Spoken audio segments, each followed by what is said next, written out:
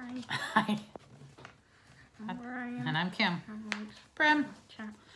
it's chat, box of topping. Does apple pie or chocolate cake smell better? chocolate cake.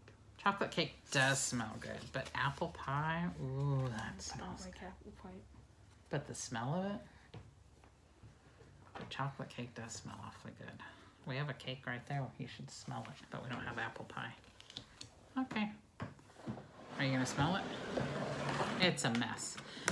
I got a Bundt cake pan for my birthday.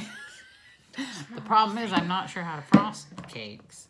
So I take a tub of frosting and I've been heating it up and pouring it over the cake and this one made a mess. It looks like someone had diarrhea all over the plate. Yeah, and she knows how to frost a cake, just not a Bundt cake. Not a Bundt cake. Uh, I she, can, she can frost a normal cake really good, not not Bundt cakes. It tastes good, but boy, was it a mess.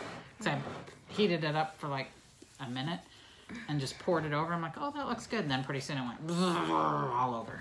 Mhm. Okay, bye.